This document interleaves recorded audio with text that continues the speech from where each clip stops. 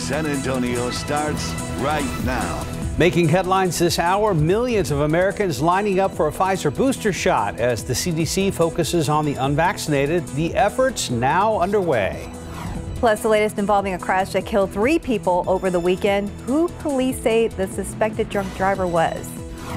It was a beautiful weekend across South Texas, but rain is in the forecast. How much and when? We'll talk to Mike in just a sec. Good morning, everybody. It is Monday, September 27th.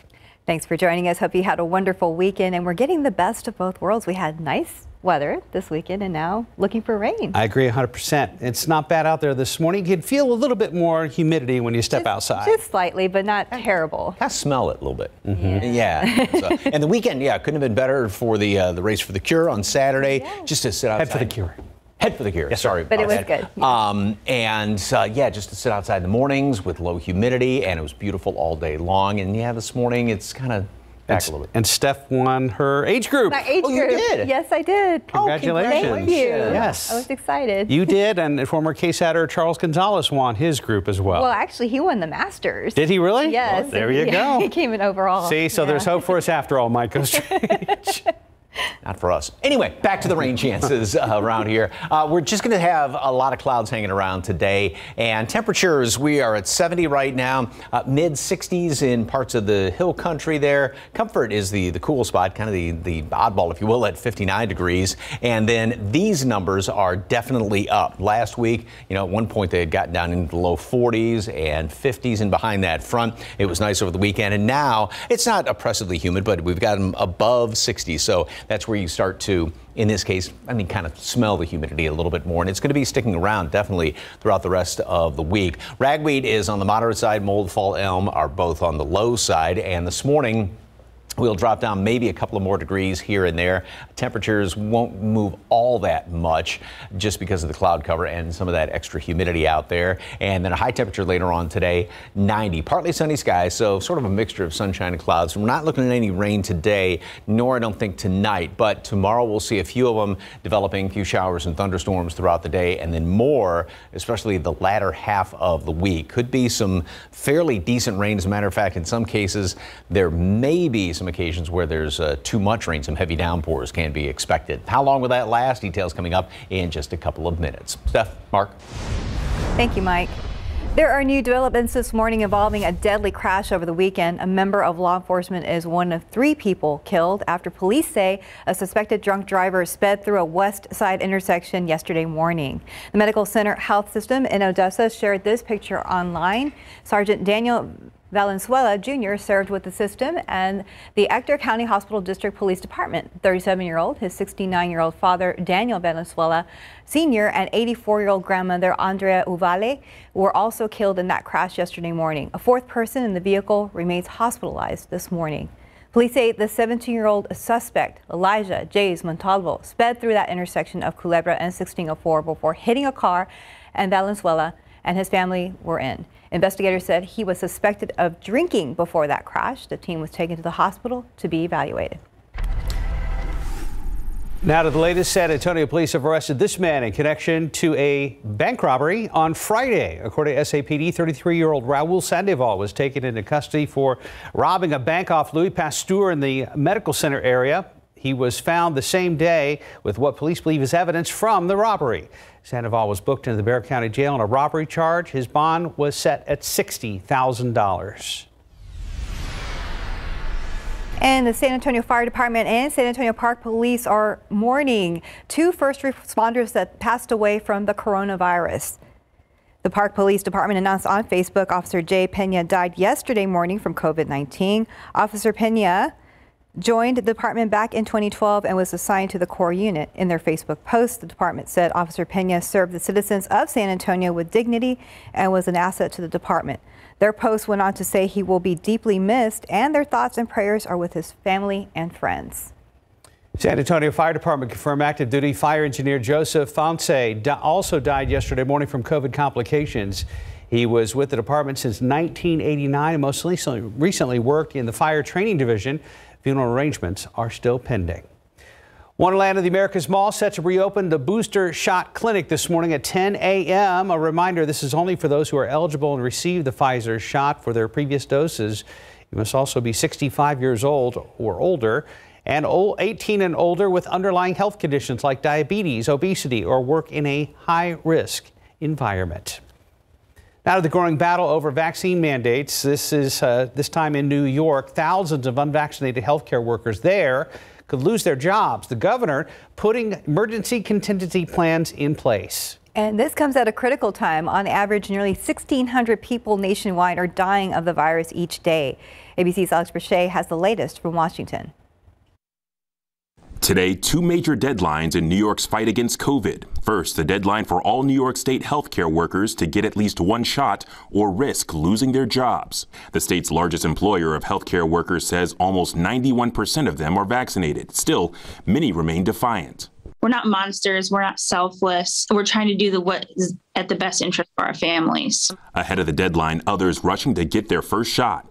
The turnout was really good. We've had some people saying, "Oh yeah, I came all the way from, you know, another county because I want to get my shot, need to get my shot for work." Still, officials are preparing for possible mass firings and staff shortages. Governor Kathy Hochul even preparing to declare a state of emergency to bring in qualified healthcare workers from out of state, recent graduates, even the National Guard to help. Monday was also the deadline for New York City public school teachers and staff to get vaccinated.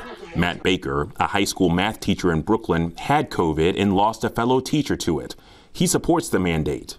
My concern is that students have already started to build relationships that they haven't had in the last 18 months. Um, and then those relationships are going to come tearing apart. Teacher Asia Levistone says she's not getting the shot. I'm going to be terminated. It's going to be my last day. But that's still yet to be determined. A federal judge temporarily blocking the New York City public school mandate until further review. All of this happening as Americans are rolling up their sleeves for a third Pfizer shot after the CDC gave the green light for Pfizer recipients 18 and older who have underlying conditions, anyone 65 and older, as well as frontline workers. And when it comes to children, Pfizer's CEO says the company plans to submit data to the FDA within a matter of days to show that it's safe and effective in children 5 to 11. Alex Presha, ABC News, Washington. And time now is 437 and it's about 69 degrees out there. Still ahead on GMSA, young business owners showing others the benefits of becoming your own boss. Plus, the Dallas Cowboys are getting ready to take on the Philadelphia Eagles in Arlington tonight. We're going to have the details on the game next in your morning sports. And outside with live cam, rain in the forecast, and it's sounding like, from what I'm hearing from Mike Osterhage, we could see the potential for some perhaps flash flooding or urban flooding problems this week. We'll get details coming up. Football coverage, powered by Davis Law Firm. After going one and one on the road to kick off their 2021 season, the Dallas Cowboys stage their home opener tonight when they host their NFC East rivals, the Philadelphia Eagles. They gave the Super Bowl champs a run for their money in the season opener. Then they kicked their way to a 2017 victory over the Chargers in LA. Cowboys are three and a half point favorites tonight as Dak Prescott continues his road to recovery. So far, he's thrown for 640 yards, three touchdowns, and two picks to start the season. This is the last box to check in Prescott's recovery process, playing in front of the home crowd for the first time since suffering a season ending ankle injury. Again, Dallas hosting the Eagles tonight in Arlington. Kickoff set for 7:15. If you miss it, you can watch highlights tomorrow morning right here on GMSA. Time now, 441 and about 69 degrees for now. And still ahead, becoming your own boss, the advice one man has to say to young teens looking to start their own business. And fallout from that bombshell Britney Spears documentary, allegations for Britney insiders, next in your GMA First Look. And welcome back. It's 444. A new Britney Spears documentary is revealing the extreme surveillance that Britney's dad imposed on his daughter. ABC's Kaylee Hartung has the details in today's GMA First Look. In this morning's GMA First Look, going inside the new FX and Hulu documentary, the New York Times presents Controlling Britney Spears. The new bombshell allegations from insiders speaking out about the intense surveillance system that they say closely monitored Spears during her 13 year conservatorship. Her phone, her own phone, and her own private conversations were used so often to control her. Just because you're in control doesn't give you the right to treat people like property.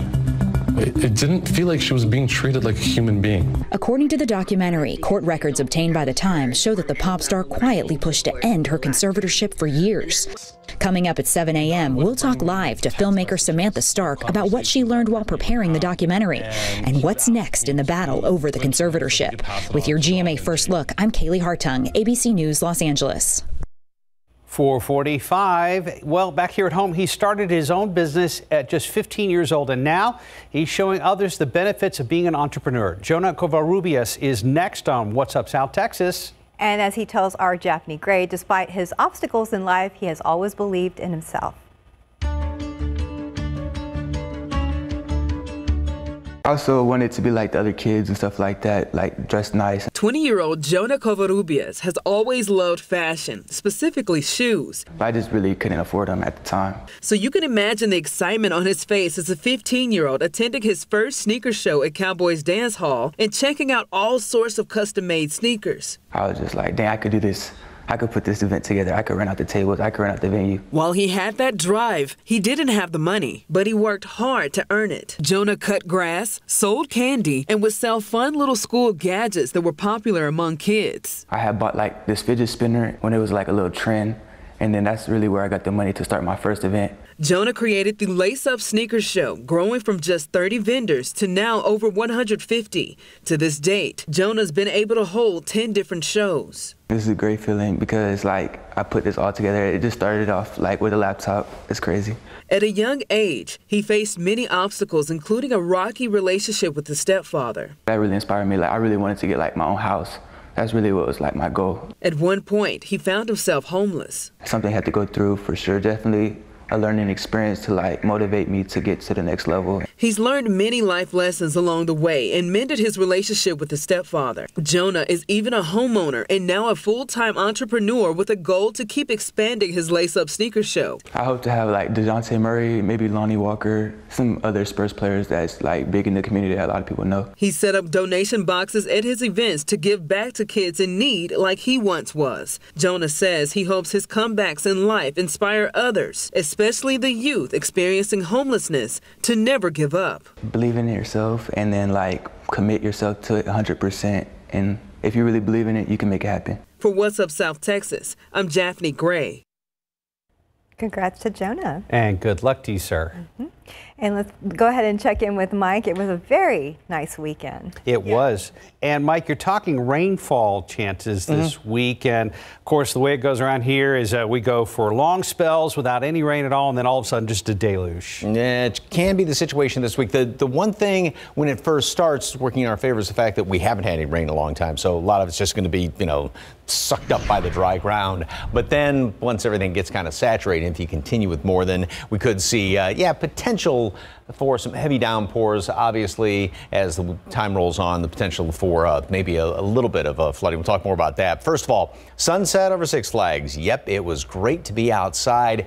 Uh, it, in the sun, it was a little bit on the, the warm side. I mean, temperatures were up around normal, upper 80s. That's what we can expect, but that humidity was really nice. And now this morning, it's still very pleasant out there, but not quite what we had the past couple of days. Dew points are up anywhere from 5, 10, uh, 16 degrees in Hondo as well as in Kerrville, 14 degrees higher than what it was at this time yesterday. It was uh, kind of coolish to be outside. Maybe a light sweatshirt starting off in the morning. And we will see our usual somewhat drop in uh, the humidity later on this afternoon, but then it's really going to start to kind of pump back on in here. And that's going to be the case all the way in through the weekend. So we're not going to see then as much of a drop in the afternoon. And with all that extra humidity, it's really kind of adding to obviously the amount of moisture in the atmosphere and the amount of moisture that basically can get squeezed out in the atmosphere. And so that's what we're going to have to watch out for Off to the west, there's a big area of low pressure. You can see it spinning around out there up around uh, Arizona, and that's what's going to be moving on in. And then there's another one kind of on the heels of that. So it's going to be sort of a one two punch, if you will, this week as far as the uh, disturbances giving us the rain chances. Today, basically just mostly cloudy skies, partly sunny, however you want to call it. And then tomorrow, we're going to have a lot of clouds around. A few showers going to try and develop. Uh, this particular computer model doesn't bring them in that early during the day. We'll have a few of them in the afternoon, but then more later on tomorrow evening. And there could actually be a bit of a uh, kind of a line of showers and thunderstorms developing in the overnight hours into two, into Wednesday morning. And then throughout the day on Wednesday, we will have more. Now, jumping ahead, a little bit longer range computer model, and it's got pretty much the same scenario as far as tomorrow night into Wednesday, some potentially heavy rain, and then more rain throughout the day on Wednesday, and then Thursday into Friday morning, another round of potentially some heavy rain around here. And it looks like some of that rain is going to be sticking around even into Saturday and still a few stragglers into Sunday. So eh, it's not going to be raining constantly, of course, but there is the potential for just a, a long stretch of rain, which is great news. But then you get those heavy pockets in there, which is not great news. 85 degrees today at noon, partly sunny skies, and then a high temperature today up to 90. So we will be just a just a tad above normal. Humidity, you'll notice it, and then that's definitely going to start to come into the picture. No ozone action day in effect today, and we did have a couple of them over the weekend. Uh, rain chances will definitely start to pick up, potentially some heavy ones maybe Wednesday early, Friday early. Temperatures will stay uh, in the about mid upperish 80s, but then should have a little bit of a cool front moving on through here. That combined with the rain will knock temperatures down by the uh, end of the week. But notice how low temperatures stay in the 70s. Mm-hmm. Means a lot more humidity around here. So if you get a car wash today, it's uh, you just need to have an understanding with yourself that it's going to be kind of a short-term satisfaction deal. Yes. Probably so. Okay. Very short term. Thank you, Mike. Right now, 451, about 69 degrees. And we're getting a first look at Netflix newcomers like The Sandman and Cowboy Bebop. We're going to have that and more next in your morning spotlight. Here are your lottery numbers this morning. Pick 3, 654, Fireball 8. Daily 4 numbers 6627, Fireball 0. Cash 5, 5, 13, 23, 25, 28. Lotto Texas 5, 9, 12, 21, 29, 39. And your Powerball numbers 22, 23, 37, 62, 63, Powerball 19, Power Play 3. Good luck.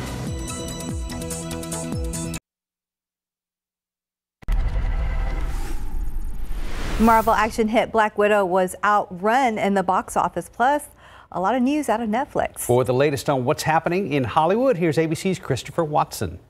Is this what you wanted? Shang-Chi and the Legend of the Ten Rings just outran fellow Marvel action hit Black Widow to become the highest grossing film domestically of the pandemic era. It banked a further $13.3 million its fourth weekend out to post a total domestic gross of 196.5 million bucks. We have unfinished business. That's 13.1 million more than Black Widow made, though unlike Black Widow, Shang-Chi's playing exclusively in theaters. Lots of news out of Netflix's so-called Tudum Global Fan event. Highlights oh, include teasers for the new seasons of Stranger Things. I was wondering if we'd meet again. Bridgerton. Right for your life. What's happening? And The Witcher. And first looks at newcomers like The Sandman and Cowboy Bebop. We also got premiere dates for Tiger King 2 and Cobra Kai's fourth season. They'll drop November 17th and December 31st, respectively. And happy birthday, Meatloaf. 74 Monday. And that's what's happening in Hollywood. I'm Christopher Watson, ABC News. Caught a trailer for the next season of Ozark this weekend, too. Uh, I bet that oh, looks it, good. It looks good. it's brutal. 456, about 69 degrees. And still ahead in our next half hour, Tesla opens a full self-driving beta software to more customers. Plus, we're following the latest when it comes to that big train derailment up in Montana, what we know about the victims who lost their lives. And a quick look at the roads with TransGuide this morning. There's a look there at Loop 410 and Perrin. We will be checking in with our Stephen Cavazos after the break.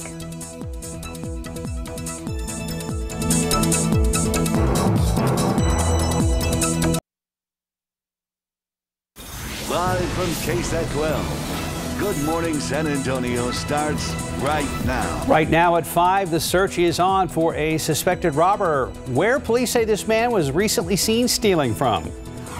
Plus, an Amtrak train with more than 150 people on board takes a deadly turn. What we know about the victims who died in that derailment. And outside with live cam early Monday morning, we're about to wrap up the month of September and we're in the upper 60s. Good morning, everybody. It is Monday. It is September 27th. Thanks for joining us this morning. Hope you had a wonderful weekend. The weather definitely cooperated. Yes, this week uh, we need to have the umbrellas handy. Mike Osterhage is here with more on that. Yes, indeed. Today you won't need them, but uh, then during the day tomorrow, you'll probably start to come in handy, especially later on in the day. Right now, we're starting off at 68 degrees, and we're about at the normal average temperature. But look at that bottom number, the dew point, which is still okay, but that has definitely come up quite a bit compared to uh, where we were yesterday and the past couple of days. We're going to make it up to 90 later on this afternoon, so we will be just a few degrees above normal. We'll keep a fair amount of clouds around today as well. The aquifer did go up one tenth of a foot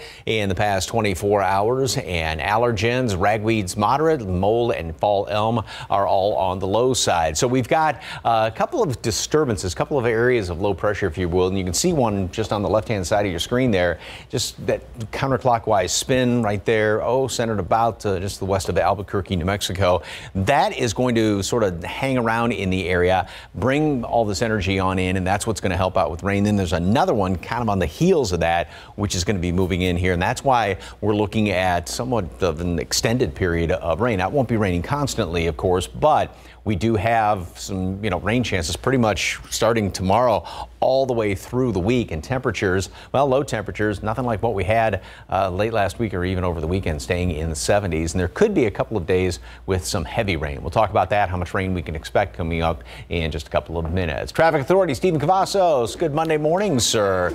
Hope you have good news. Yes, good news. Well, we do have some construction out there. If you want to consider that good news, that technically is because they are working to improve the roadways, but uh, definitely you want to plan ahead if you're going to be heading out the door in the next few moments. Here's a shot from Loop 410 right at Ray Ellison. You can see that we do have a few flashing lights out there, some cones, uh, indicating that, yes, we do have construction crews out there, and we do have some folks already getting their morning started early. So how is this impacting traffic? Well, let's take you to the map right now. Things are still pretty green there, but two lanes are still blocked blocked right there at Loop 410 northbound at Ray Ellison. So again, be cautious because right now it's really just a morning of construction. So as we jump off the map here, we want to take you right here to I-35 northbound at State Highway 46. There's been ongoing construction out there for the last several weeks. Right now, two lanes are blocked, but as we bring you a little bit further up here, we do see a little bit of a slowdown starting to take place right in those northbound lanes at FM 1101 with traffic moving at just 16 miles per hour. So do be prepared. Uh, that is what we're seeing right now this morning as the new week is getting going. So yeah, that is good news because obviously these TxDOT crews are working to improve the roadways. And better news here, these inbound times are still pretty green despite a little bit of the red that's building up there in those northbound lanes. Coming in from Boerne on I-10, it's just 25 minutes, 26 from 281 in Bulverde and 26 on 35 coming in from New Braunfels to the downtown San Antonio area. So uh, one last look here at TransGuide Loop 410 at Ray Ellison. Just a few folks out there. Just as always, make sure you're driving cautious and we're cautiously and we're going to be watching watching the roads closely here in the traffic lab. Mark Stephanie. Thank you, Stephen. San Antonio Police and Crime Stoppers need your help finding suspects in two cases this morning. First one is a robbery at the Macy's inside Ingram Park Mall. Officers say the man on your screen is suspected of stealing items from the store about two weeks ago. They say around 1:45 p.m. he grabbed several items and threatened an employee before running off. If you recognize him or know where he may be, you're asked to call the number on your screen 210-224-STOP. Police are also looking for the person who killed this man, 31-year-old Ivaristo Sierra. Investigators say he was murdered back in September of 2009 on Maverick Bluff Street. That's on the northeast side near Wurzbach Parkway and Wetmore Road. They say a friend found Sierra with a gunshot wound inside his home. Witnesses told police they heard a gunshot and saw a four-door gold-colored vehicle take off from the scene. If you have any information that could help them solve the murder case, you are asked to call that number on your screen, 210-224-STOP. Now to a crime alert. People voicing concerns this morning after several violent crimes on a northeast side roadway. That's because part of Starcrest has seen three homicides this year. Police say the first incident happened in late February when a man who had been shot was pushed out of an SUV. The suspect took off. Second incident happened earlier this month. Police say a man tried to rob a couple, but the couple ended up shooting and killing the suspect. The third incident happened just a couple weeks later. Officers found a 19 year old shot in the head. He died at the hospital. No arrests have been made. Councilman Clayton Perry, who presides over the Starcrest area, says crime in District 10 is steady, but violent crime across San Antonio as a whole is going up. Just so happens at Starcrest, they had those three violent murders right there. Uh, but again, none of them were connected. They are stepping up um, the patrols in that area. SAFFE officers are are making a larger presence in that area. Uh, Councilman Perry also says every time there is a violent crime, they alert people in that area. Well, in your morning headlines, the latest on that deadly Amtrak train derailment in Montana. Zach Schneider has been identified as one of the three people killed in the crash. He was traveling into Oregon with his wife for vacation. She survived. Schneider's family calls him an incredible husband, friend, and software developer. The other two victims have not been identified. The train was carrying 146 passengers when nearly all of its cars derailed. ABC's Reena Roy has more. Overnight, the first of three victims identified in that deadly Amtrak train derailment in Montana. Zach Schneider's wife, Becca, confirming to ABC News that her husband was killed when the Empire Builder passenger train went off the rails on Saturday. Oh my God, it's on its side. My first thought was that we were derailing. And then I thought that was crazy. There's no way that we could possibly be derailing. That's insane. The train headed from Chicago to Seattle with more than 150 people on board when it took a deadly turn near the town of Joplin. Eight of the train's 10 cars derailing, several toppling to their sides in this remote area. Oh, the train's destroyed down there. First responders quickly arriving on the scene while passengers jumped into action to help rescue people trapped in the wreckage. About 120, 130 yards behind us uh, was where the rest of the train was. Daniel Hutchinson and his son helping free multiple people after rocks and rubble blocked the escape route. One gentleman was able to finally crawl out from under, uh, the, out of the gravel. We helped him up a ladder, up out of the car, and then down a ladder down onto the ground. Uh, to uh, waiting assistance down there. And now we're learning more about the upkeep of the track where the train crashed. Officials revealing Sunday that section of the track was inspected less than a week ago. This morning, the NTSB is on scene, ready to examine potential causes for the crash. Amtrak releasing a statement in the wake of the accident saying they are cooperating with investigators, adding, We share the sense of urgency to understand why the accident happened. However, until the investigation is complete, we will not comment further on the accident itself. Reena Roy, ABC News, New York. A hospital spokeswoman says six people who were wounded in a mass shooting at a Tennessee Kroger are no longer in critical condition. Angie Golding says as of yesterday, one person is in serious condition and five others were in good condition. On Thursday, a gunman killed one person and himself and wounded 14 others east of Memphis. Police say the victims included 10 employees and five customers. A family friend says the gunman worked in a sushi business at the store. The Collierville store remains closed. House Speaker Nancy Pelosi has moved a vote on a $1 trillion bipartisan infrastructure bill to later in the week. This as Democratic leaders shore up support for the measure. Democrats also are pushing ahead on the massive $3.5 trillion social safety net and climate change bill, which will likely be pared down. President Joe Biden's broad domestic agenda hangs in the balance, and the White House says Biden spoke with lawmakers over the weekend on the path ahead. Moulin Rouge, the musical, has swept through the Tony Awards and claimed the Best Musical honor.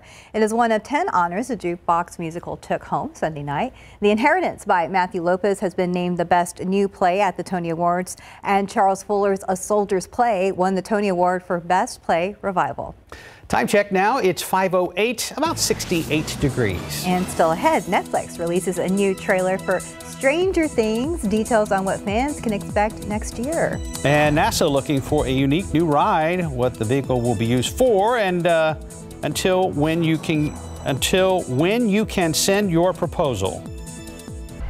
And taking a look outside with live cam this morning, we're about 68 degrees, starting a little more humid than, you know, we had been the past couple days, but still not too bad. We'll be checking in with Mike about rain chances later on.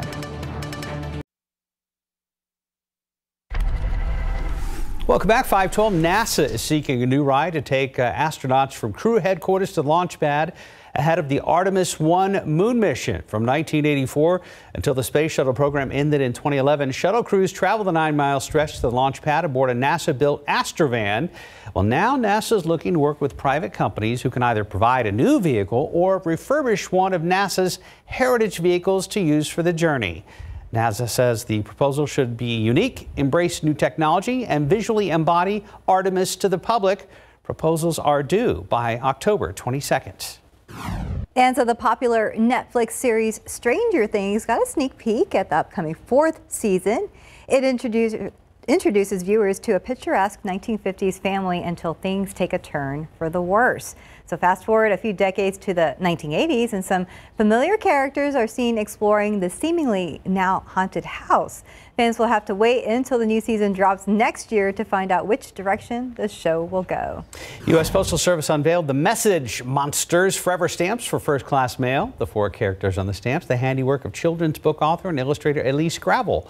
According to the USPS, these stamps are, quote, sure to charm everyone along their mail delivery journey, end quote. Message Monster stamps are available at post office locations nationwide and online. I think they're cute. Yeah.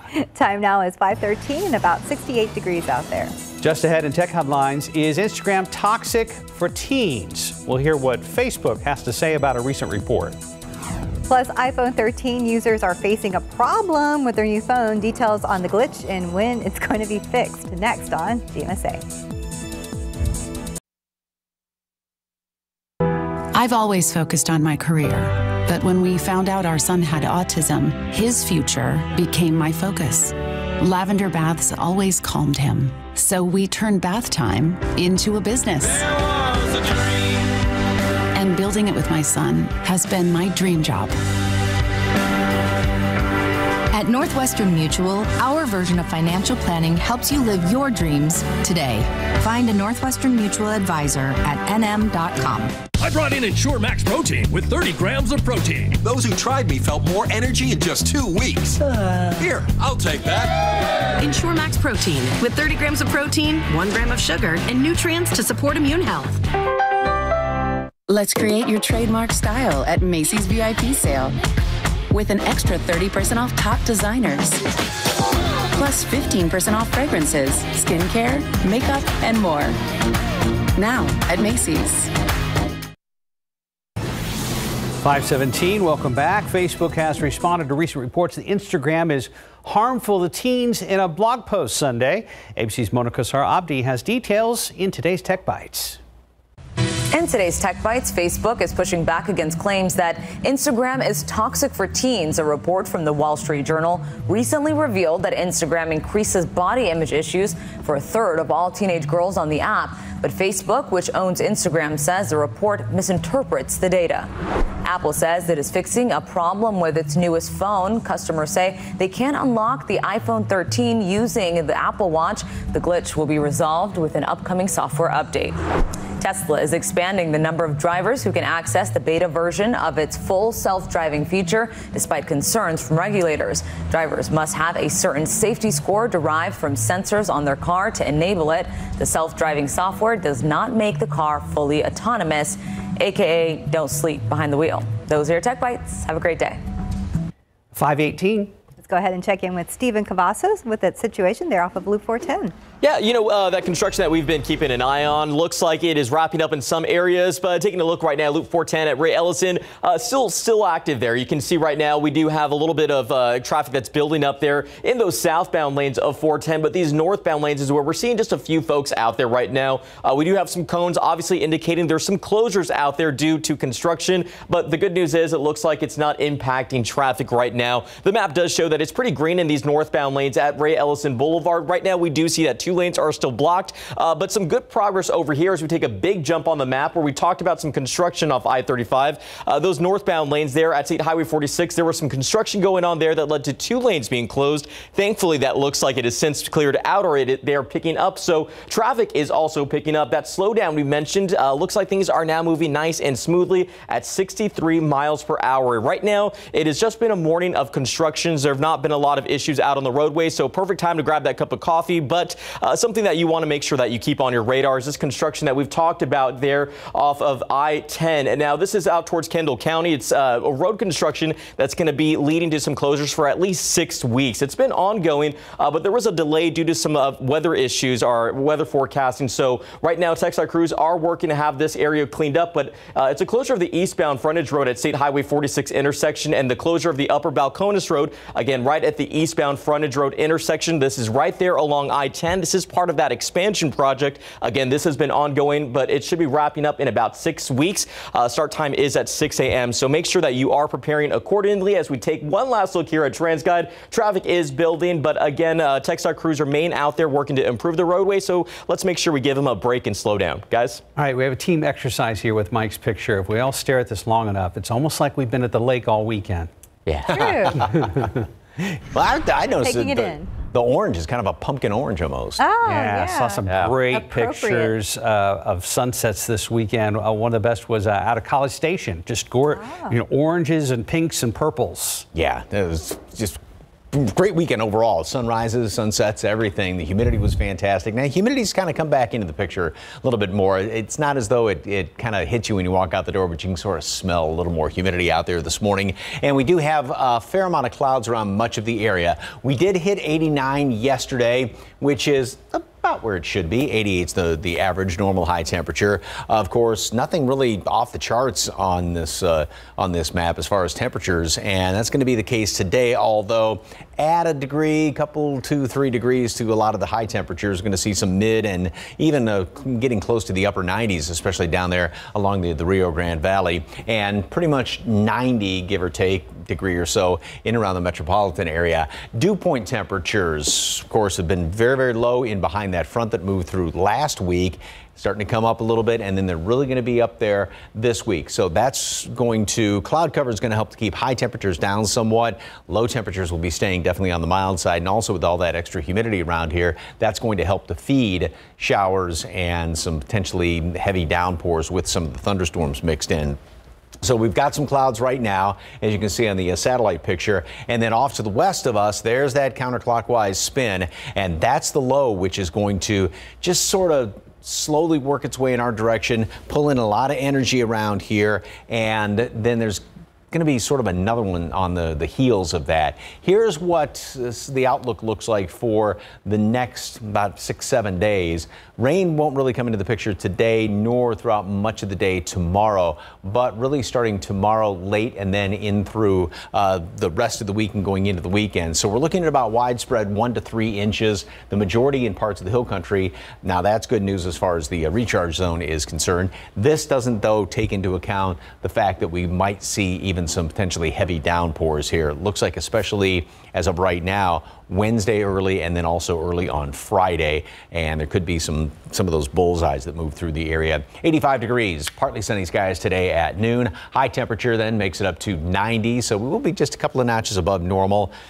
Mm, a little bit of humidity out there today. We're not uh, going to be seeing any rain today, but then tomorrow we'll have a couple of scattered showers and thunderstorms, especially later on in the day. Then rain starts to move on in here. And again, it's not going to be raining everywhere, but we've got good chance for some widespread Again, widespread one to three inches of rain when it's all said and done. Heavier pockets on top of that. It looks like especially uh, Wednesday and Friday, and even a few more showers left over in through the weekend. Doesn't it look more like a late spring kind of forecast It really week does with all that overall? rain. Mhm. Yeah. But it's reminiscent of what early July and then May when we had those True, we had extended periods Mm-hmm. of rain. Maybe getting that again. Okay. Be nice. All right. Thank you, Mike. Right now, 523, about 68 degrees. And here's some video for the guys there. Gal Gadot shows moves worthy of Wonder Woman. Coming up after the break, a look at how she took down The Rock and Ryan Reynolds. We're just talking about movies almost that entire commercial break. Today's entertainment news includes plenty of big screen action stars. CNN's David Daniel has the details in today's Hollywood Minute. Take it easy. This is easy. Gal Gadot shows moves worthy of Wonder Woman, taking down Dwayne Johnson and Ryan Reynolds in the first clip from Red Notice. The big budget action flick about an FBI agent, an art thief, and a con artist debuts November 12th on Netflix. The sequel to Aquaman doesn't arrive until December of 2022, but its star is already trying to pique fans' interest. Jason Momoa tells Fandango the underwater action sequences in Aquaman and the Lost Kingdom have gone to a whole other level, and that the film has a lot more heart. He also praised the comedy in the script. Quote, I giggled reading it. The newest member of my family. Dave Bautista has a new friend. The actor and animal lover had posted on Instagram trying to track down who abandoned the pit bull puppy, who was found eating garbage with a metal chain embedded in her neck. After several weeks of Humane Society care, the dog has a new home, a new name, Penny Bautista, and a new leash on life. In Hollywood, I'm David Daniel. Oh, it's sweet story and cute play on words there at the end. Yeah, well, I'm glad the pup's doing better. New leash on life. Mm-hmm. 527, about 68 degrees. And still ahead in the next half hour, debunking a myth that COVID 19 vaccines cause hearing loss. We're taking a look at that study. Plus, people out in Kerrville in the Texas Hill Country should be uh, extra alert after two more cases of rabies were confirmed. We'll have the latest coming up. And diet soda is the lesser evil compared to regular soda, right? Right. Well, the answer may surprise you. That's ahead on GMSA at 6. Making headlines this hour, a man killed in the weekend crash has been identified. We'll tell you who he was and how. San Antonio police say that crash happened. And taking a look outside with live cam this morning. Not any rain in this shot, but we are expecting some chances this week. And a good morning to you. It is Monday, September 27th. Hope you guys had a fabulous weekend. The weather was just perfect. It was a great time to get outside, especially in the early morning hours. That's right. But this week, a uh, complete change to the forecast. Mike Osterhage appearing in numerous productions of Singing in the Rain. Not today, but yeah, throughout uh, pretty much the, the latter half of the week, starting somewhat tomorrow, but then all the way even in through the weekend. We'll talk more about that in a second. Uh, fairly tranquil out there right now. You will notice a bit more humidity. It's not as dry as what it was yesterday. Uh, it's not overly humid. It's not like it's going to, you know, just hitch in the face, but uh, it, there is definitely more out there. Not much of a breeze to speak of. We're at 68 degrees right now, and temperatures in the hill country. Even remember last week we got down in the mid 40s at one point. That's not the situation today. It's pretty consistent out there thanks to the extra humidity as well as some of the uh, the cloud cover, and we'll keep sort of a mixture of sunshine and clouds around throughout the day. Ragweed is moderate. Mold and fall elm are both on the low side. 85 at noon. 90 for high temperature. Going to call it partly sunny skies. At times a little bit more sunshine here and there, and temperatures are going to be just a couple of degrees above normal. Like I said, we'll start to see some rain chances tomorrow. Then they're going to pick up throughout the especially latter half of the week. Could have some potentially heavy downpours, and it also looks like rain's going to be sticking around in through uh, even a good chunk of the first weekend of October. Details on that coming up in just a couple of minutes. Traffic Authority, Stephen Cavazos. Anything big going on?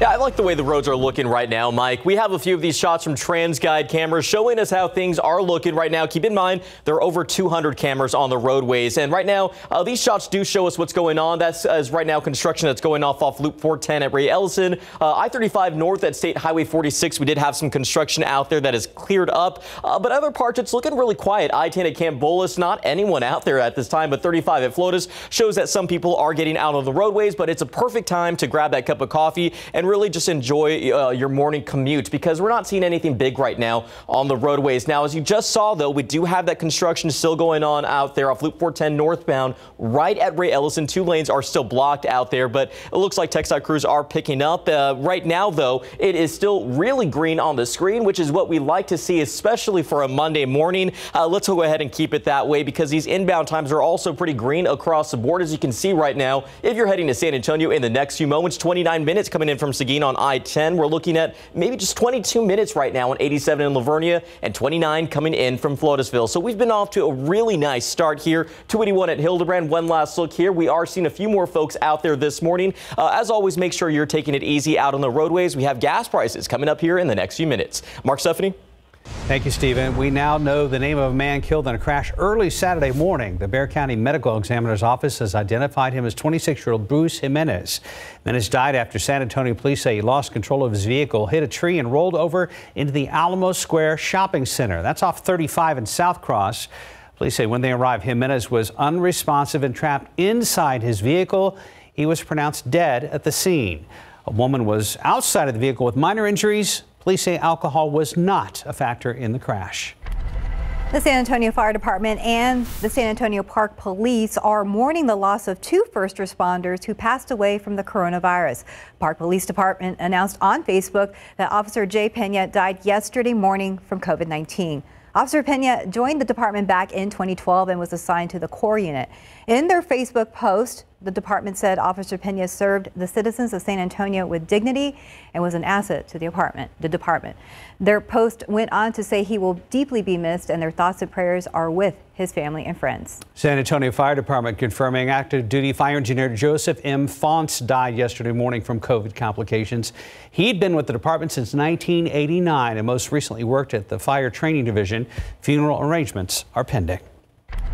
And CPS Energy plans to hold its monthly meeting today at 1 p.m. Board members are scheduled to discuss whether they still want to give three and a half acres of prime downtown real estate to the San Antonio Museum of Art or sell it. The board had previously agreed to give it to the museum back in 2015. We will have the latest updates throughout the day on KSAT.com. Now to this video, Customs and Border Protection say commercial cargo operations will resume at the Del Rio Port of Entry at 8 this morning. Port closed back on the 17th due to the influx of thousands of migrants around the International Bridge. Val Verde County Commissioner told KSAT the migrants who were camping out in Del Rio were cleared out Friday, just days after almost 15,000, mostly Haitians, arrived seeking asylum. Slowly but surely, new cases of COVID 19 have been gradually dropping, and experts say we're not out of the woods just yet, but before the end of the year, we could see the latest surge finally subside. CNN's Britt Conway has a look at what health experts expect over the next couple of months. Every morning I come in and go through every COVID patient, determine who's on ventilators. I have to report the deaths. Unfortunately, it's a, it's a daily event. Hospitals all over the country are straining against COVID 19. Deaths are on the rise, even as new cases decline. But experts say don't let the case count fool you. Delta isn't done. I'm not at all convinced that the Delta surge has peaked in the US, and I fully expect case counts to go up again across the country over the weeks and months to come. This Delta wave is going to surge across the country and hit different regions at different times. But once it plays out, this may be the last major wave of infection. I think by Thanksgiving, you'll have seen this move its way through the country. The virus isn't going away, but prevalence levels will decline to a level that feels more manageable. But what exactly does manageable mean? We were seeing a seven day average of up to 160,000 cases a day at the peak of the surge. Right now, the CDC says that average is closer to 114,000 new cases a day. And Dr. Gottlieb expects will eventually drop down to about 20,000 cases a day. But getting there depends on more people getting vaccinated. There's still a lot of pockets of vulnerability, and COVID's so contagious, it finds its way into those pockets of vulnerability. I'm Britt Conway reporting. And trending right now on KSAT.com, Duane Chapman, also known as Dog the Bounty Hunter, is joining the search to find Gabby Petito's boyfriend. The New York Post states that Chapman went down the home of Laundrie's parents in Northport, Florida, and knocked on their door, but no one answered. He says he has received tips that the 23 year old is somewhere in the Appalachian Trail and that Petito was reported missing on September 11th by her parents after she didn't respond to calls and texts for several days. Her body was discovered last Sunday in the Grand Teton National Park in Wyoming. Also on our website, two more cases of rabies have been confirmed in Kerrville. City officials are now telling its residents to keep an extra close eye on their pets and make sure they're vaccinated against the illness. Both of the cases were reported earlier this week after Kerrville County Animal Services tested two raccoons, both of whom came up positive. Time check, just about 539, about 68 degrees. Two researchers behind the technology used in the COVID-19 vaccine are being recognized. Just ahead, how much money they are now splitting for their hard work. Now we're getting a glimpse of what technology is San Antonio in San Antonio is looking like right now. Max Massey has a breakdown coming up next in our leading SA segment recap. And taking a look outside with live cam this morning, starting slightly more humid than we have been, but still tolerable. We can take it. And expecting rain this week. We'll be right back.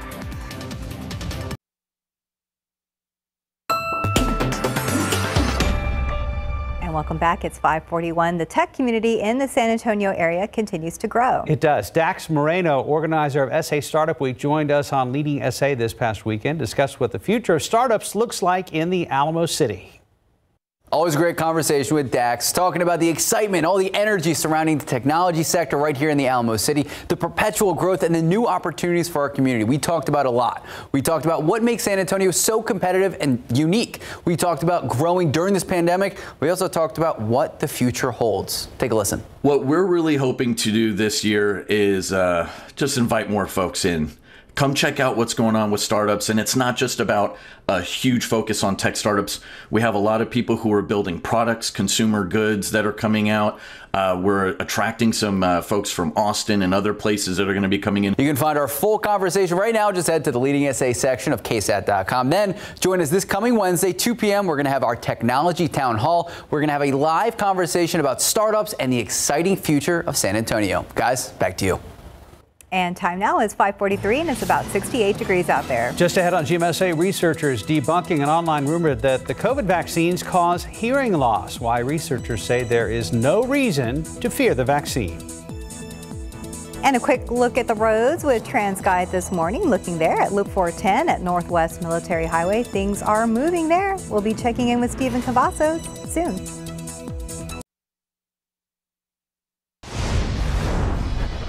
546, a new study shows the COVID-19 vaccines are safe and don't cause hearing loss. ABC's Ika Jachi has more about the myth in today's Medical Minute. Much of the country has received at least one dose of the COVID 19 vaccine. Many of these shots have been with Pfizer or Moderna vaccines that use mRNA technology. Now, researchers are debunking an online rumor about the vaccines causing hearing loss. A new study looked closely at these mRNA vaccines and tracked people's experiences after getting the shot. In all, scientists looked over 86 million shots given in the United States. They found that there was no increased occurrence of hearing loss following the vaccine. They say there is no reason to fear the vaccine. In fact, getting everybody vaccinated and protected will be the key to getting our country back on track. With this Medical Minute, I'm Ika Giacchi. And two U.S. researchers behind the technology used in Moderna and Pfizer's COVID 19 vaccines are the winners of what's known as America's Nobel. Katalin Karikó and Dr. Drew Weissman developed the M RNA technology and was considered the breakthrough that enabled the rapid production of the two vaccines. For their work, they received the 2021 Lasker Clinical Medical Research Award. Both are researchers at the University of Pennsylvania. The pair will split a $250,000 prize. Wow. That's amazing. It is amazing. Con uh, congratulations to both of you. 547 on your Monday morning. Let's go ahead and check in with Stephen Cavazos. Good morning, everyone. Well, right now the roads are shaping up to look nice and smooth. If you're heading out in the next few moments, 37 at 9th Street. Just a few folks out there this morning. Uh, keep in mind, we have not spotted a lot of issues out there, so this is good news. Uh, some of the construction that we've been keeping an eye on looks like it has since wrapped up, so there's some good progress there. Uh, but if you are planning on heading up to New Braunfels maybe later this week, there will be a temporary closure later down the line as we see these eastbound and westbound lanes of Conrad's Lane and Kohlenberg Road at I-35 will be closed closed, but that's beginning September 29th. So still two days away to start making those plans.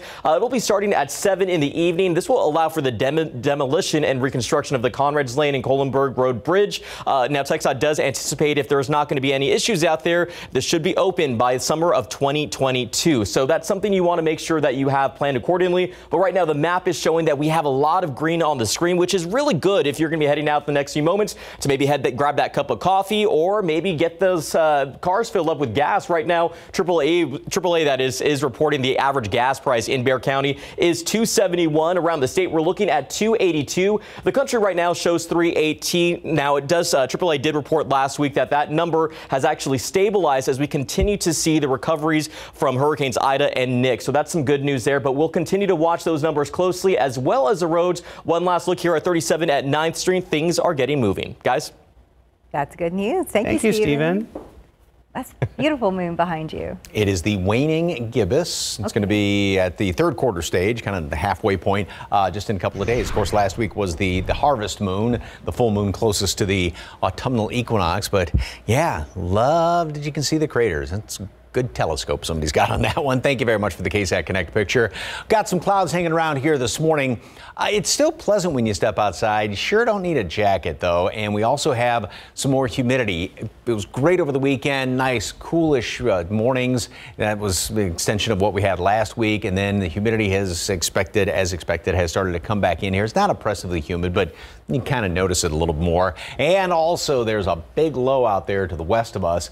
That is going to be kind of driving the weather, if you will, for pretty much the next week. That and some other disturbances along with it. So here's what's going to be going on with the uh, computer models and going into the next couple of days. This model does have a few showers. Now, this is one of those, again, broad brush computer model, so it's not going to be raining everywhere. But rain chances will start to move into the area tomorrow afternoon. We're not going to see anything today. And then tomorrow night, a few of those showers and thunderstorms, and going into Wednesday as well. There are going to be, now, of course, won't be raining constantly, but there are going to be pockets here and there where we're going to have some heavy downpours. And there are some indications there could be that could be the situation Wednesday morning as well as on into uh, Friday morning and even throughout the uh, evening hours on Friday too. Obviously, this is still a few days off, four or five days off. So as time goes on, we'll see how it looks. But as of right now, maybe on the damp side for uh, some of the games Friday night. And also, at least with this particular long range computer model, rain sticks around Friday, excuse me, Saturday, and then into Sunday. Again, it's not raining constantly, but we will continue to have some of these uh, showers and even a few thunderstorms around here, and maybe even uh, lingering into the first part of next week. And overall, we're looking at about maybe one to three inches of rain, and then the heavier pockets on top of that, and that'd be cumulative over the course of about five to six days. So we've got that low off there to the west of us. It doesn't come right in on top, but just enough to get things going around here.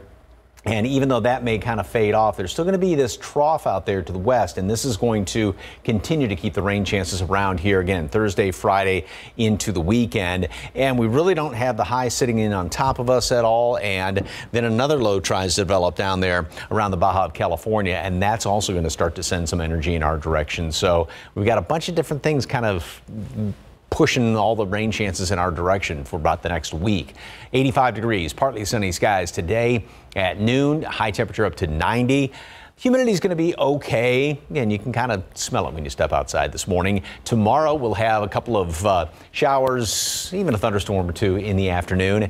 And then, especially Wednesday through the weekend, we're going to have more rain around here and potentially a couple of spots with some heavy downpours. You smiled when I said you can kind of smell the rain or smell the humidity? You can definitely do that this morning. And then we're going to smell rain, of course. Right. Which is yes. better. Yep. mm-hmm. I vote for that. Mm-hmm. Okay. Thank you very much, Mike. 552, about 68 degrees. And just ahead, helping in the fight against hunger in our community. Details on where you can donate for families in need.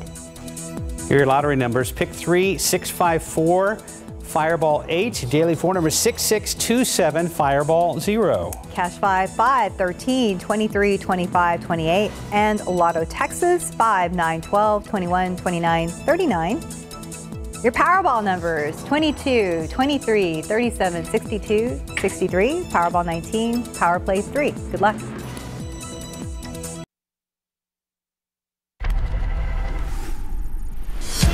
Good morning. Coming up here on GMA with that vaccine mandate for some states approaching and booster shots now rolling out. CDC Director Rochelle Walensky is going to join us live to break it all down. You'll see that and so much more right here on GMA. The South Texas Blood and Tissue Center provides blood used in emergencies for 48 counties and over 100 hospitals and clinics. However, its supply continues to be very low. That's why KSAT and our community partners have teamed up to get more donors, those especially with type O blood. One donation can save up to three lives and keep the blood bank adequately stocked. There needs to be at least 600 donors a day. If you'd like to help out, you can make an appointment at universityhealthsystem.com or call the number on your screen. That's 210 358 2812. September is Hunger Action Month, and now through the very end of the month, you can drop off donations at Randolph Brooks Federal Credit Union locations. They're accepting non perishables like cereal, beans, rice, even diapers, and pet food. If you'd like to help out here, we have all this information on ksat.com. Well, ahead in our next hour, GMSA, the Cowboys ready for prime time with a matchup against a familiar foe. We've got a preview of Monday Night Football and the latest on a horrific train crash over the weekend derailment that left multiple people dead and several wounded. Back here at home, we now know the name of a man killed in a rollover crash on the south side this weekend. We have those details. And Stephen is here tracking traffic, building traffic out there at 35 at Flores. And we're continuing to look at cameras around town. There's 35 at Weidner. You're watching GMSA on a Monday. One more hour of news, weather, and your traffic authority still to come. Stick around. We will be right back.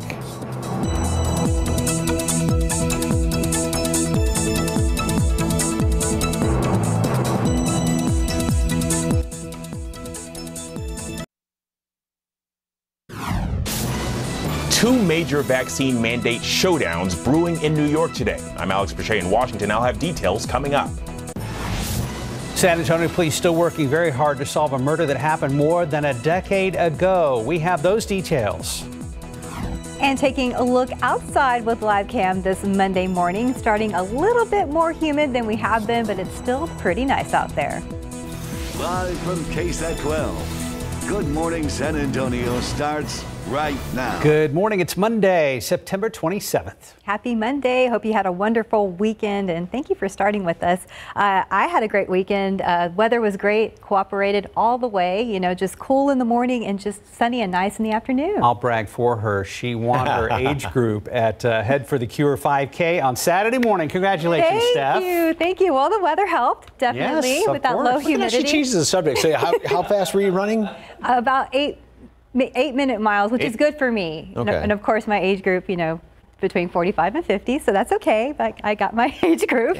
Wonderful. Thank you. That's outstanding. Thank you, guys. And you guys had a pretty good turnout. Yeah, it was Good. a great turnout because you know, as of you know, last year it was all virtual, so it was nice to see you know people back. Mm-hmm. People back. And you know, supporting uh, Team Boyle, you know, in honor of our former news director. Oh, that's fantastic. Well, no, without a doubt, it was uh, a fantastic weather weekend, Mike. You know, and this morning I was just thinking about it. Had we not had such a great weekend, it'd be pretty nice this morning. Mm-hmm. You know, the humidity is back a little bit, but uh, yeah, compared to the weekend, it's not as nice. We've got some clouds hanging around here, and we're going to keep plenty of clouds around. Temperatures are very consistent all around the area 63 New Braunfels, 67 Pleasanton, Seguin at 62, and we are holding at 67 degrees here in town, so just a little bit below the uh, average low temperature. Ragweed is on the moderate side, mold and fall elm are both low, and throughout the day, temperatures. Uh, yeah, we may drop another couple of notches here and there. We do have a few clouds hanging around, and that's going to prevent us from getting even cooler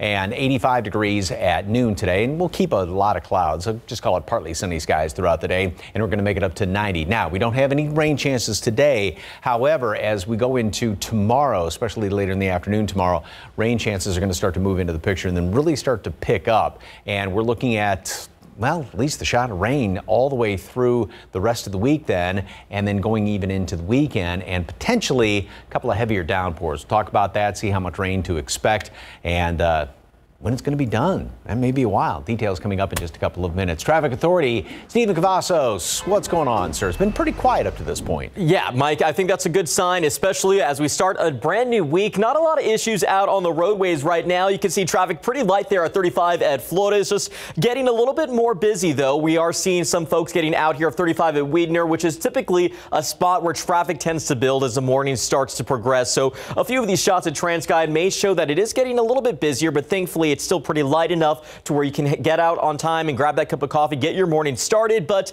uh, a few stalls to talk about. We have one reported there off Loop 410 northbound at 37. Thankfully, still early enough to where we're not seeing any delays there. But as always, make sure you're checking your vehicles properly because we're seeing that trend continue right up here off I-35 southbound at George C. Beach Avenue. Not a lot of issues when it comes to these stalls causing any uh, traffic delays. But as we take a wider look out at the map, it is still pretty green. And thankfully, that's a good sign, especially if you're going to be traveling out the door in the next few moments. And if you're heading to San Antonio, well, green across the board. You'll find here off 37 and from Pleasanton, it's 28 minutes, 17 minutes coming in from 35 and Lytle, and just 18 minutes coming in from Highway 90 and Castroville. Uh, but one last look at TransGuide. Some of these shots do show it's getting a little bit busier. We had some construction out there off Loop 410 at Ray Ellison. Looks like that is wrapped up, so uh, you won't have any issues at this moment. But as always, watch the roads closely. We're going to be keeping an eye on things as well. Guys?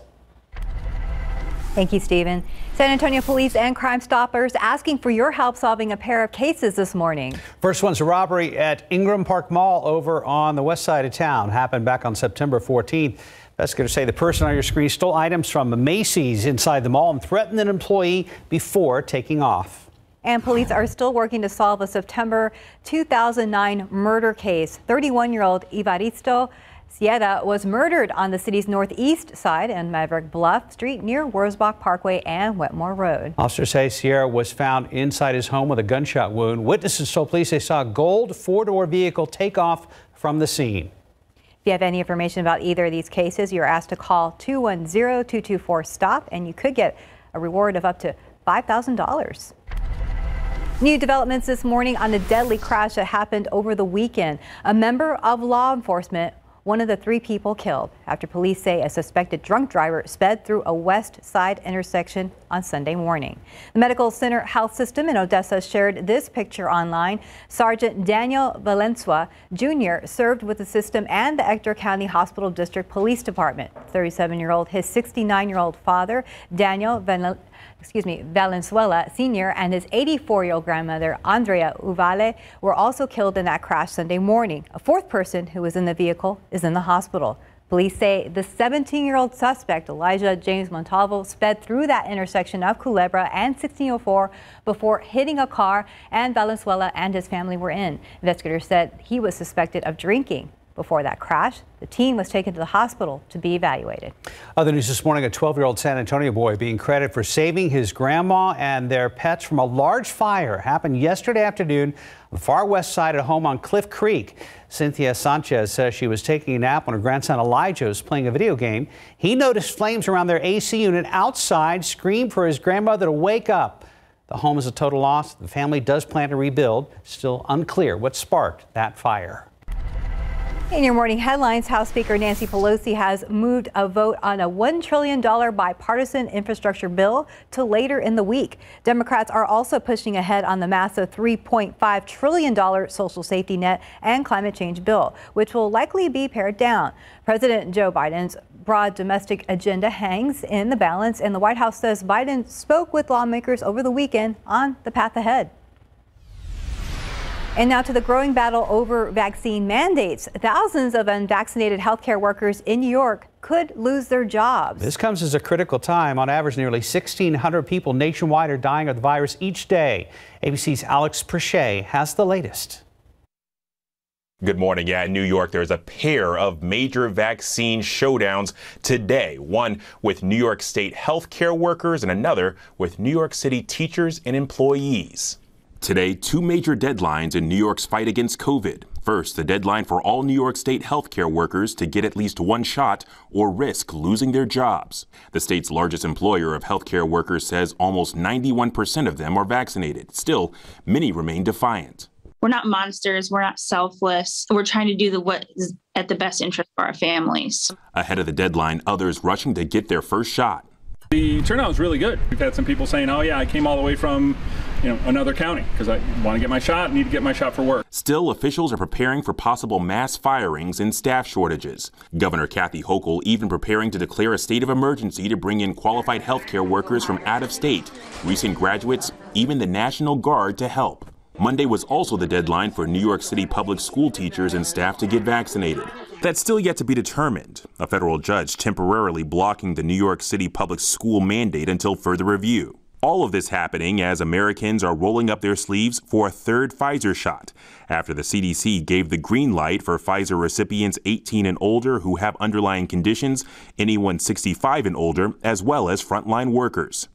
And when it comes to children, Pfizer's CEO says the company plans to submit data to the FDA within a matter of days to show that it's safe and effective in children 5 to 11. Alex Presha, ABC News, Washington. Back here at home, the Wonderland of the Americas Mall is set to reopen the booster shot clinic later this morning at 10.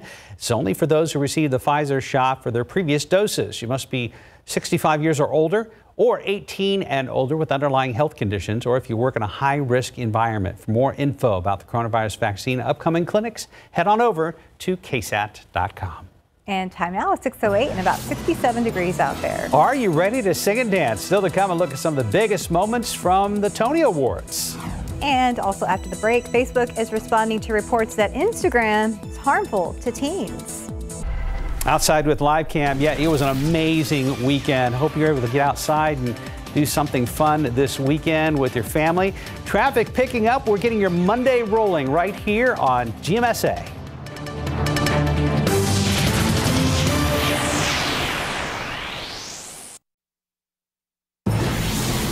This morning, Facebook pushing back against claims that Instagram is toxic for teens. A report from the Wall Street Journal says Instagram increases body image issues for a third of all teen girls on the app. But Facebook, which owns Instagram, says the report misinterprets the data. Apple says it is fixing a problem with its newest phone. Customers say they can't unlock their iPhone 13s using the Apple Watch, a feature that was introduced by the company. The glitch will be resolved with an upcoming software update. And now to Broadway's biggest night of the year. Broadway itself came back just this month, and now the Tonys are back. ABC's Will Ganss has more. After two and a half years, Broadway is back! the Tony Awards back to celebrate the return of live theater. I've got sunshine on a cloudy day. And the best of the season before the shutdown. Adrienne Warren winning for her portrayal of Tina Turner. Thank you, Michael Lajeday Jr., for getting me in shape for this show three times, and I'm not doing it again. But it was an odd show fitting of an odd season. Aaron Tveit winning Best Actor, the only one nominated for the award. A Tony's first. As for the night's biggest award, Best Musical, The Tony Award goes to oh, Moulin Rouge.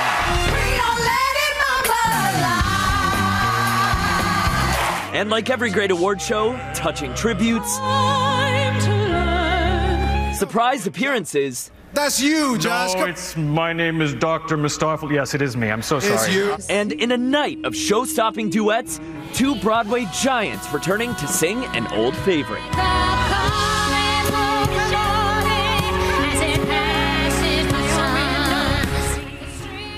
Moulin Rouge, the musical, dances away with 10 wins total. And you saw Chita Rivera there presenting the Tony for Best Musical. 64 years ago to the day on that very same stage, Chita made her Broadway debut as Anita in West Side Story. Will Ganss, ABC News, New York. Tesla expanding the number of drivers who can access the beta version of its full self-driving feature despite concerns from regulators. Drivers must have a certain safety score derived from sensors on their car to enable it. The self-driving software does not make the car fully autonomous.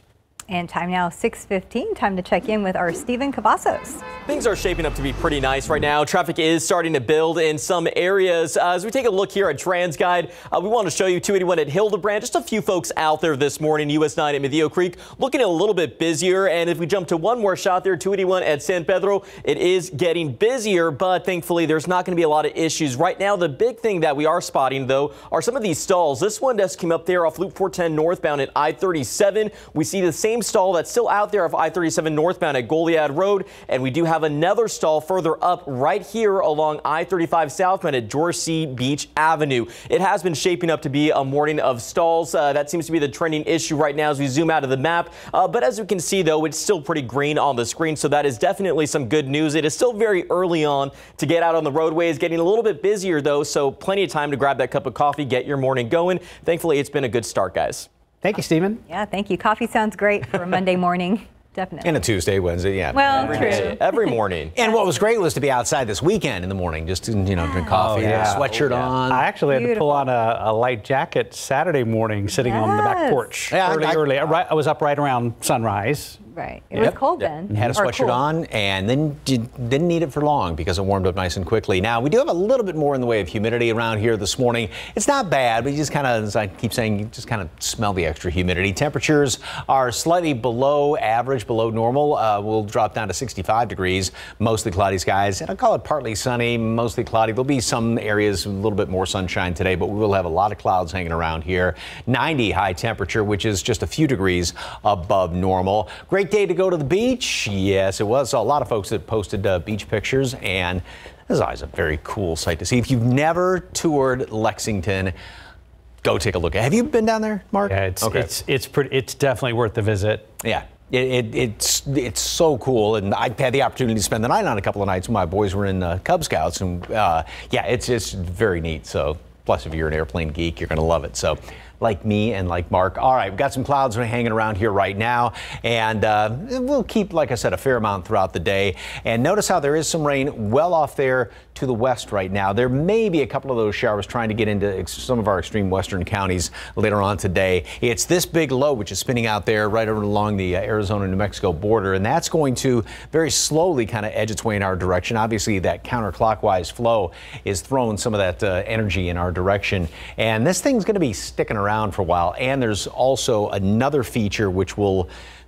sort of uh, sort of move in on the heels of it, if you will. It's kind of a, a one-two punch. Here's what we're looking at today: just a fair amount of clouds around with some sunshine thrown in. A lot more in the way of clouds tomorrow, and then some showers developing in the afternoon. This is again is that computer model with the broad brush, so it's not going to be raining constantly, but we will have showers off and on, and then there's going to be the pockets of some potentially heavy rain. Uh, one chance it looks like being Wednesday, the next being on Friday. Thursday we'll still have a few of those showers around here, and then again Friday, uh, Thursday night into early Friday, and throughout the day Friday going into the evening, and then even sticking around into Saturday as well as Sunday, and maybe even the first part of next week. Now, as far as rainfall potential, right now we're looking at about one to three inches widespread around the area. Looks like the lion's share may be in portions of the hill country. Good news for the uh, recharge zone. And then there's going to be the pockets then on top of that. Starting off, of course, given the fact that everything is so dry out there, a lot of the rain is just going to soak in quite nicely. But once, as this continues, once the ground obviously gets saturated, then we're going to have to uh, be thinking about runoff. So 85 degrees today, partly cloud, excuse me, partly sunny skies at. I've always focused on my career, but when we found out our son had autism, his future became my focus. Lavender baths always calmed him, so we turned bath time into a business. And building it with my son has been my dream job. At Northwestern Mutual, our version of financial planning helps you live your dreams today.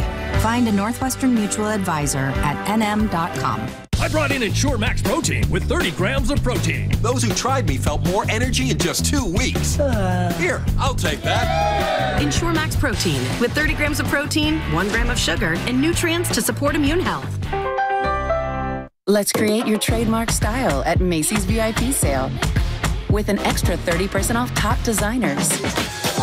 Plus 15% off fragrances, skincare, makeup, and more. Now at Macy's. In this morning's GMA First Look, going inside the new FX and Hulu documentary, the New York Times presents Controlling Britney Spears. Let! The new bombshell allegations from insiders speaking out about the intense surveillance system that they say closely monitored Spears during her 13 year conservatorship. Her phone, her own phone, and her own private conversations were used so often to control her. Just because you're in control doesn't give you the right to treat people like property. It, it didn't feel like she was being treated like a human being. According to the documentary, court records obtained by the Times show that the pop star quietly pushed to end her conservatorship for years. Coming up at 7 a.m., we'll talk live to filmmaker Samantha Stark about what she learned while preparing the documentary and what's next in the battle over the conservatorship. With your GMA First Look, I'm Kaylee Hartung, ABC News, Los Angeles. Pro football coverage powered by Davis Law Firm. Cowboys fans, you ready for some football? Dallas hosting the rival Philadelphia Eagles on Monday Night Football. Dallas and Philly both sitting at one and one on the season. Winner will take over first place in the NFC East. Should be a good one. Kickoff set for 7:15 tonight. Meanwhile, Texans fans will have to wait till Sunday to see their squad play again. They'll be on the road taking on the two on one Buffalo Bills. Texans currently sitting at one and two. Second place in the AFC South. Kickoff for this one set for Sunday at noon. And time now is 624 and about 67 degrees out there. Still ahead on GMSA, new details on a deadly rollover crash on the south side of town. We're going to have those details. And outside with TransGuide right now, looking at uh, building traffic at 35 at uh, Highway 46. Also at I-10 out there at Camp Bullis as South Texas is waiting for the sun to come up on an early Monday morning.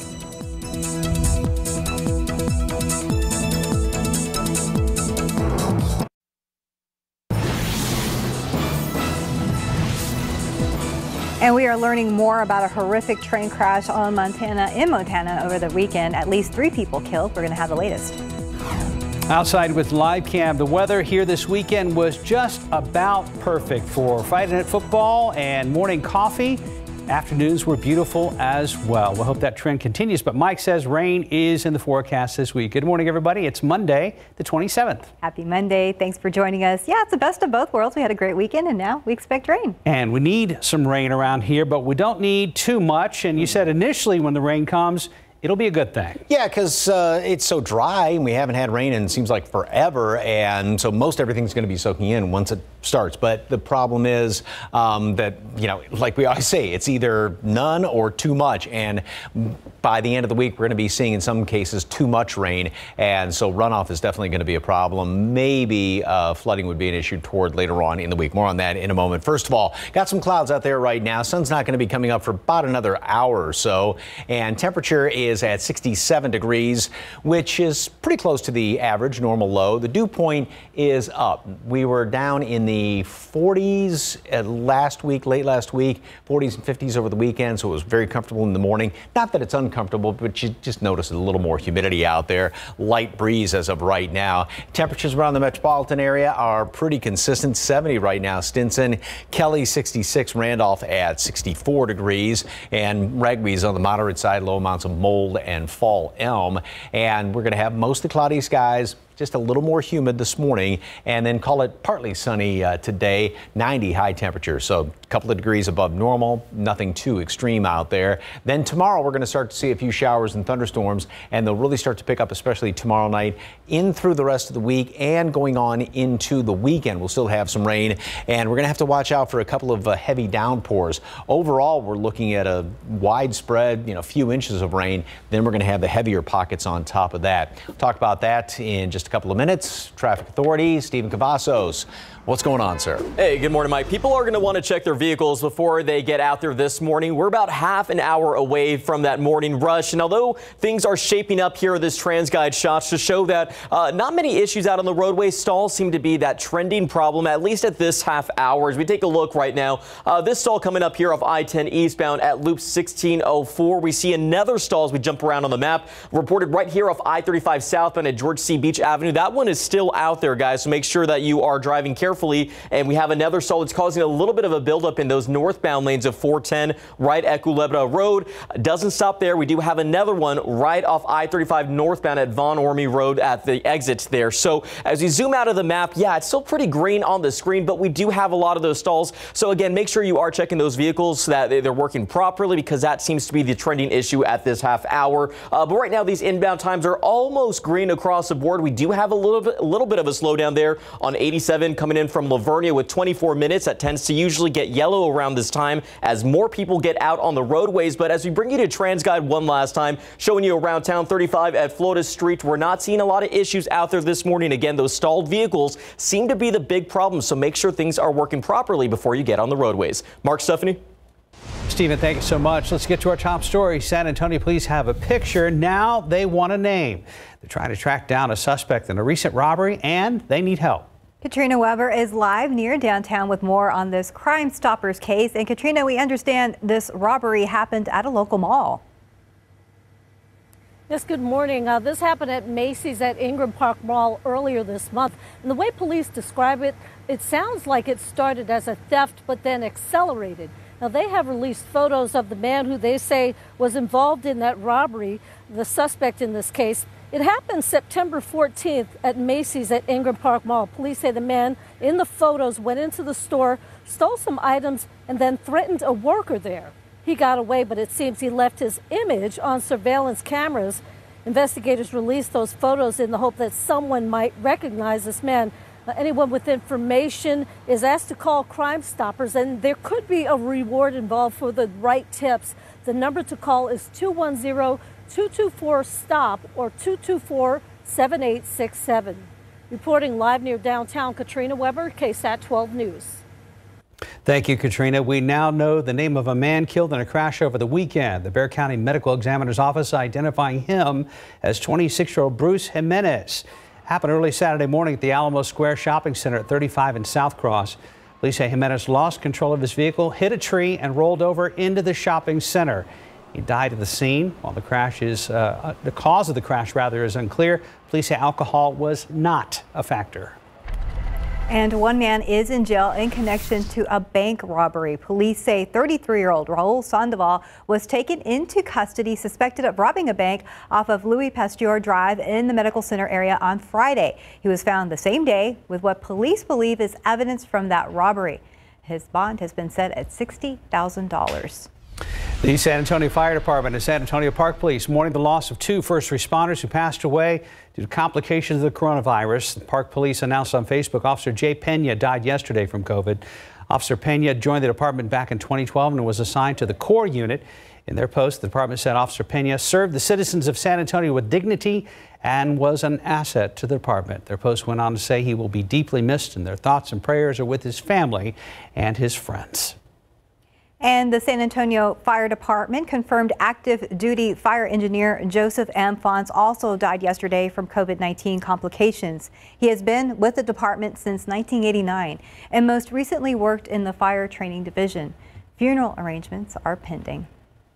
Across the country, it's clear the Delta variant is not done. Over the next few weeks, health experts expect new cases of COVID to go up again, hitting different regions at a time. But experts say the surge could trend downward soon. But I think by Thanksgiving, you'll have seen this move its way through the country. The virus isn't going away, but prevalence levels will decline to a level that feels more manageable. Across the country, we were seeing a seven day average of up to 160,000 cases a day at the peak of the surge. Right now, the CDC at, uh, says that average is closer to 114,000 new cases a day. Some health experts expect we'll eventually drop down to about 20,000 a day, but getting there depends on more people getting vaccinated. Topic of morning headlines in Greece. One person is dead, several others hurt following a 5.8 magnitude earthquake near Athens. It happened just a few hours ago. Here's a look at some of the images from the Greek island of Crete. Several homes and churches were damaged. The quake also caused some rock slides in the area. At least nine aftershocks have been reported, adding to the overall damage. An update to the deadly Amtrak train derailment in Montana. One of three people killed in the crash has been identified. The train was carrying 146 passengers Saturday when nearly all of its cars derailed. ABC's Reena Roy has more. Overnight, the first of three victims identified in that deadly Amtrak train derailment in Montana. Zach Schneider's wife, Becca, confirming to ABC News that her husband was killed when the Empire Builder passenger train went off the rails on Saturday. Oh my God, it's on its side. My first thought was that we were derailing. And then I thought that was crazy. There's no way that we could possibly be derailing. That's insane. The train headed from Chicago to Seattle with more than 150 people on board when it took a deadly turn near the town of Joplin. Eight of the train's 10 cars derailing, several toppling to their sides in this remote area. Oh, the train's destroyed down there. First responders quickly arriving on the scene while passengers jumped into action to help rescue people trapped in the wreckage. About 120, 130 yards behind us uh, was where the rest of the train was. Daniel Hutchinson and his son helping free multiple people after rocks and rubble blocked the escape route. One gentleman was able to finally crawl out from under, uh, the, out of the gravel. We helped him up a ladder, up out of the car, and then down a ladder down onto the ground. Uh, to uh, waiting assistance down there. And now we're learning more about the upkeep of the track where the train crashed. Officials revealing Sunday that section of the track was inspected less than a week ago. This morning, the NTSB is on scene, ready to examine potential causes for the crash. Amtrak releasing a statement in the wake of the accident saying they are cooperating with investigators, adding, We share the sense of urgency to understand why the accident happened. However, until the investigation is complete, we will not comment further on the accident itself. Reena Roy, ABC News, New York. In your morning consumer news, United Airlines now facing nearly $2 million in fines for violating its rules on leaving delayed planes full of passengers on the tarmac for too long. The Transportation Department says the fine is based on 25 flights between 2015 and 2021.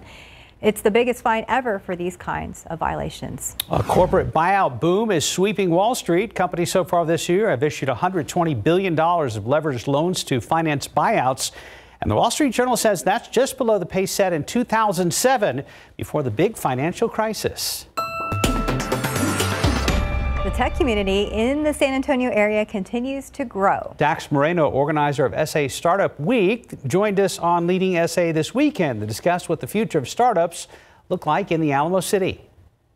Always a great conversation with Dax, talking about the excitement, all the energy surrounding the technology sector right here in the Alamo City, the perpetual growth, and the new opportunities for our community. We talked about a lot. We talked about what makes San Antonio so competitive and unique. We talked about growing during this pandemic. We also talked about what the future holds. Take a listen. What we're really hoping to do this year is uh, just invite more folks in come check out what's going on with startups. And it's not just about a huge focus on tech startups. We have a lot of people who are building products, consumer goods that are coming out. Uh, we're attracting some uh, folks from Austin and other places that are going to be coming in. You can find our full conversation right now. Just head to the leading SA section of ksat.com. Then join us this coming Wednesday, 2 p.m. We're going to have our technology town hall. We're going to have a live conversation about startups and the exciting future of San Antonio. Guys, back to you. And just a reminder, we are nearing the end of Hunger Action Month and you still have time to help. You can drop off donations at Randolph Brooks Federal Credit Union locations. They are accepting non-perishables. And we have more information about how you can help on our website at ksat.com. Right now it's 640, about 67 degrees. Still ahead on GMSA, soda versus diet soda. We're going to tell you which one experts say is the better choice.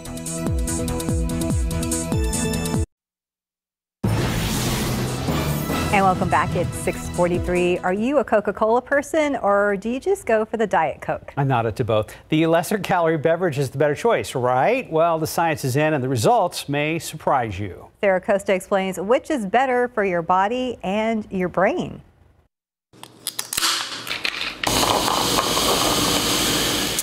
Nothing beats the crisp taste of a soda. But what if the bubbly drink had zero calories and zero sugar?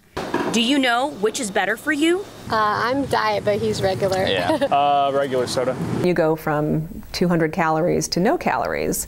However, there's been some information that shows that actually making that switch doesn't help as much as you think it should. A study by the American Geriatric Society found that diet soda intake was related to increasing abdominal obesity. Also, artificial sweeteners, which are also found in diet soda, were linked to an increase of high calorie food. Something about your brain chemistry recognizes that there's something sweet eh, because of the artificial sweeteners in the soda, and that might actually dial up your craving for more sweets. Researchers from Columbia University and University of Miami found those who consumed diet soda had a 43% higher chance of developing cardiovascular disease than those who drank regular soda. And those who drank as little as one diet beverage a day were three times more likely to develop dementia and had an increased risk for stroke over a 10 year period. Just something to think about before you pop open your next drink. And we all know sodas lead to obesity, which is a pretty common health condition here in San Antonio. According to the CDC, a little over 65% of adults in Bexar County are overweight or obese. San Antonio is also ranked at number 17 on the list of fattest cities in America. I'm Sarah Costa, KSAT 12 News. Back to you guys. I don't know about you, but my doctor said dump the soda. And the only way I was able to break it, because I like drinking fizzy drinks, Yes. I drink like HEB sparkling water. Yes, that helps. Without anything added to it. So because that can be zero calories, and that's exactly. So like thing. the plain one or maybe the lime version and Yes. and they they sell out a lot. So I think I'm I'm not the only one doing it. yeah, I kind of do that as well. Yeah. It's a good idea. Let's go ahead and check in with Stephen Cavazos at 645 right now. Yeah, I, I try to stick to the coffee. Just just coffee, Well, nothing in go. it. Dark roast, that's the way I like it if I need that caffeine intake. But uh, if you're going to be heading out the door to grab that cup of coffee, we do have good news. The roads are shaping up to look nice. Uh, it's been the trending uh, thing all morning long, which what we like to see. US 90 at Medio Creek showed a little bit of a busier commute. 281 at San Pedro. Things are getting moving, but uh, we are seeing things stopping for others. Uh, we do have a stall that just looks like it cleared though from I-10 eastbound at Loop 1604. Uh, so that's some good news there. Those drivers may have received some assistance because a lot of those stalls that we saw have since cleared out. However, there is one crash that was detected right there off Military Drive at Boswell Street. It was causing a little bit of a buildup there on Military, but thankfully it looks like things are now pretty green as we take a wider look at the map. Uh, that still has been the dominant color all morning long, although we are seeing a little bit of a buildup there along 1604. That's typically a construction spot, and we know that traffic starts to pick uh, starts picking up around this hour. So a good time to grab that cup of coffee and a good time to head to the gas station one last time. These AAA gas prices, uh, according to AAA, the average gas price in Bexar County 271 around the state. We are looking at 282. The national average 318 went down a penny. AAA did report last week that that number did stabilize. Uh, thankful as we see those recovery efforts following Hurricanes Ida and Nicholas. But let's go ahead and take one last look at TransGuide. It's shaping up to be a nice morning. Good time to grab that cup of coffee once again, guys. Thank you, Stephen. Good idea. Speaking of nice mornings, this picture from over the weekend. Wow. It's very nice. That almost doesn't look real. It's so orange on there. But yeah, from Pearsall Park, looking at it, uh, gorgeous out there. This morning, another nice looking sunrise. We've got still a few clouds hanging around here this morning, and we're going to have a, a few more throughout the rest of today. But uh, yeah, very nice looking start. We've got this low out there to the uh, west of us. This is water vapor imagery, and almost uh, at times looks like an X-ray, if you will, of the atmosphere, because you can really make out some of these uh, these systems very well. And as you can see, a good spin to that thing. It is going to be sliding kind of up to the northeast, but around that counterclockwise rotation, it is going to be pulling in and is pulling in a lot of energy. A lot of uh, a lot of showers going to be moving on in here, as well as a few thunderstorms. But it'll take a, a little bit. So today we're really not going to be seeing anything as far as any rain around here. Just a lot of clouds. Now tomorrow we will start to see more showers move into the area. And again, broad brush computer model, so it's not going to be raining everywhere. But what you can take away from this is the fact that as we go on in time, tomorrow night, afternoon, and then especially uh, then overnight into Wednesday, we're going to start to see more of these showers and a few thunderstorms around here, and maybe even a couple of heavier downpours thrown in as well. And that'll be the case in through Thursday, uh, Friday as well, and a couple of models do have some pockets of heavier rain even into the evening hours of Friday. Again, that's as of right now. We'll keep monitoring the situation. Things can change between now and then, but also even into the weekend, uh, Saturday, Sunday, and even a few leftover showers into Monday. So it's one of those situations where the overall pattern is not going to be changing. So it is kind of reminiscent of what we had, what, back in July and then back in May when we had those stretches, long stretches, what a week, maybe 10 days of rain, and potentially that's what we're looking at right now. As far as rainfall totals, widespread about one to three inches worth, and the majority of that looks like it is going to be in portions of the hill country. And then this doesn't take into account the fact that there's going to be some heavier downpours on top of that. Also, as we start off with the ground so dry from all of the the, the lack of rain, I should say, all the dry weather we've been having around here, most of the rain is going to be soaking in fairly quickly. But then as the ground gets saturated and you get those heavier downpours, that's what we're going to have to watch out for, especially later on in the week. Some runoff, potentially flooding. 85 degrees at noon, 90 high temperature, just a couple of degrees above normal. Humidity is going to be okay today, but definitely humidity is going to be going back up and there's going to be a lot of moisture in the atmosphere to get squeezed out. And especially tomorrow night, you know, a couple of showers, thunderstorms in the afternoon, but tomorrow night, then in through the end of the week and, and even the weekend. And again, there's going to be those pockets of some heavy rain mixed in as well. I'm having visions of us getting drenched this week. I think Absolutely you're right. drenched. Some folks will get mm-hmm. will get drenched at times. So, mm-hmm. and again, starting off it's going to be okay, but then once things get saturated, then we're going to have to watch out. And Mike was saying earlier, plan ahead for Thursday and Friday night football. Going to be on the sloppy side. Mm, yeah, it's looking like it right now. All right, we'll be prepared. Thanks, Mike. 650, about 67 degrees. And a new warning about the ingredients in your makeup. We're going to tell you what some experts are saying about it tomorrow on GMSA. Outside with live cam. We're going to wrap up the newscast right now. A pretty look at your uh, Monday morning sunrise. You are watching GMSA.